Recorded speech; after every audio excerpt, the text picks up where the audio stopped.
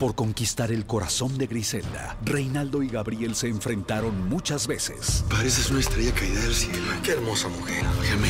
Pero esta noche, Gabriel toma una decisión que podría marcar un antes y un después en esta historia. Muy importante lo que te voy a decir. ¿Cómo reaccionará Reinaldo?